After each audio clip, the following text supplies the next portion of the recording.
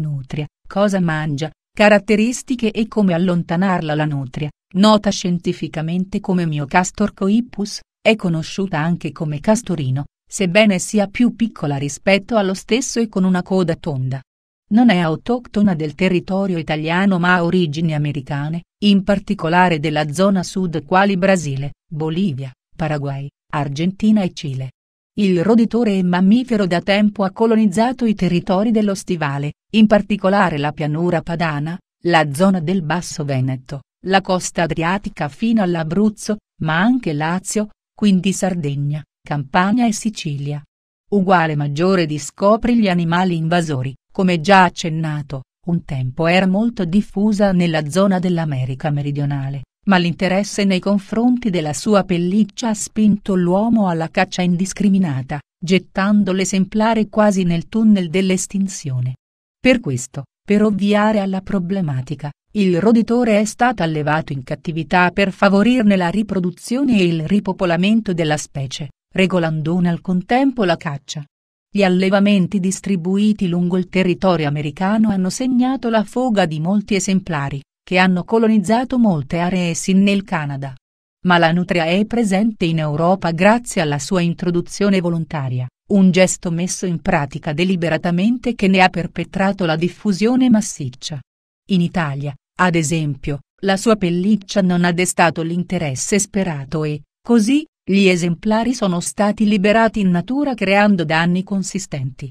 Fisicamente è un animale di medie dimensioni con un peso che varia tra i 5 e i 10 kg, con i maschi che risultano più grandi delle femmine. Il manto è marrone scuro, tranne la parte del ventre che appare più chiara. I peli sono lunghi e rigidi e proteggono un sottopelo più soffice, morbido dai toni del grigio. La coda è più corta di tutto il corpo, ma può raggiungere anche i 60 cm di lunghezza. Come roditori, le nutrie ricordano molto i castori, possiedono una dentatura con incisivi larghi e robusti, molto sporgenti rispetto al resto dell'assetto. Il corpo risulta compatto, tondeggiante, un po' goffo e tozzo. Vivono prevalentemente in acqua, per questo le zampe posteriori appaiono palmate con quattro dita, più uno libero che viene utilizzato per pettinare la pelliccia. Quelle anteriori sono più lunghe, non palmate, con artigli utili per scavare. È solita marcare il territorio con un sostanza di origine oleosa, prodotta dalle ghiandole situate accanto al muso e all'ano. Con questo prodotto lubrifica anche il pelo. Caratteristiche e alimentazione Nutria Peterloiceloech via Pixaba il roditore predilige zone dove vi è la presenza di acqua, emergendo solitamente durante la notte.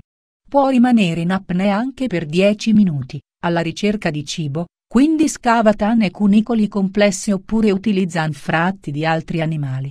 La nutria vive in piccoli gruppi preferibilmente femminili, dediti alla costruzione di impalcature dove riposare e nutrirsi.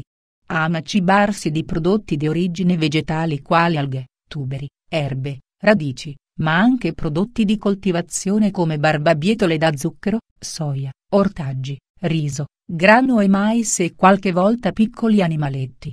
Uguale maggiore di scopri il topo come animale domestico, la sua presenza riduce la vegetazione acquatica, causando anche cedimenti degli argini del fiume. Per quanto riguarda la riproduzione, la femmina può partorire due o tre volte durante l'anno, da un minimo di un cucciolo fino a 13. La media è di 5 piccoli a parto. L'aspettativa di vita è media, allo stato brado può vivere anche 5 anni ma è facile preda di molti animali quali sciacallo, lupo, giaguaro, caimano, volpe rossa e molti altri. Come allontanarle coppia di nutrie la Bedù del via Pixabay come anticipato, la nutria è un roditore piuttosto invasivo e la sua presenza è causa di danneggiamento per dighe, sistemi di irrigazione, argini del fiume, quindi coltivazioni. Da tempo è al centro di una campagna utile al suo allontanamento, ma con scarsi risultati. Le tecniche di tipo naturale prevedono repellenti non tossici o velenosi che contengono sostanze sgradite al roditore, costringendolo alla fuga. Per azioni più incisive, è importante coinvolgere l'amministrazione locale, che potrà consigliare la soluzione più rapida e meno cruenta, e solitamente viene impiegata una gabbia trappola con relativa esca. In Italia l'aggiornamento della legge N. 157-92 ha modificato la tutela nei confronti dell'animale, la sua caccia è comunque illegale come le metodologie cruente e violente che sono sconsigliate.